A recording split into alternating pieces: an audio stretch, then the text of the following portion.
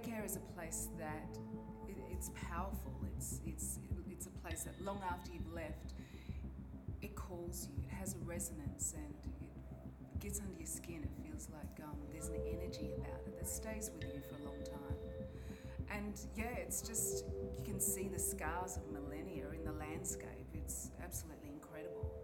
And they're the things that um, that really impact on you. It's one of the only waterways in the world is untouched, that man has not interfered with. And I think that we've got something to be really proud of in Australia that we have that.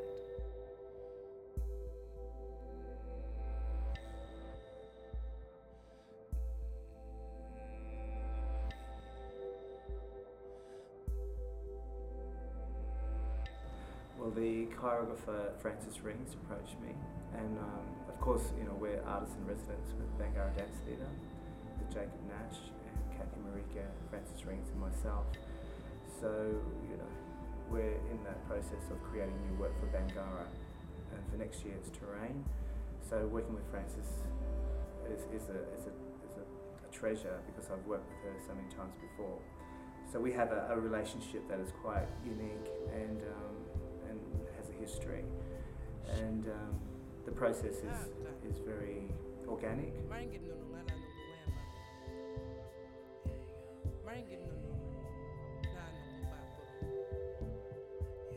Maringi nunu nungu wema. Pana papo miwa lu. Pana nuna parkwait kum. Kaya kan jal maringi nyao. The great thing about Fran, she's always, um, you know, gone back to her own backyard, and especially being a Kokatha woman and from South Australia, she's always inspired about rekindling those stories from South Australia. So it does, um, and like any other dancer that comes in the company that um, has that knack to choreograph or wants to tell their story, the great thing with Bangarra, it allows them to go and rekindle stories from their own backyard, and Frances has been the one that sort of led that way.